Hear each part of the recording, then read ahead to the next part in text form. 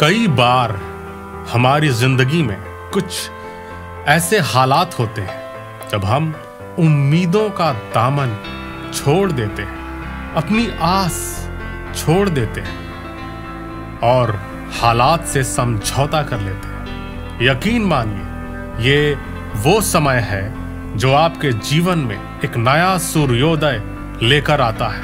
इसलिए चिंता मत करिए। और चुनौतियों का सामना कीजिए। मैं आज आपके समक्ष एक ऐसी ही प्रेरक कविता सुनाने जा रहा हूँ। तू युद्ध कर, तू युद्ध कर। माना हालात प्रतिकूल हैं, रास्तों पर बिछे शूल हैं, रिश्तों पे जम गई धूल है। पर तू स्वयं अपना अवरोध न बन तो उठ, स्वयं अपनी राह बना।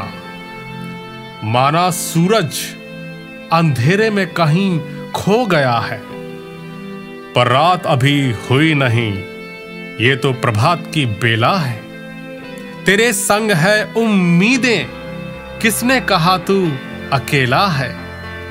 तू स्वयं अपना विहान बन, तू स्वयं अपना विधान बन।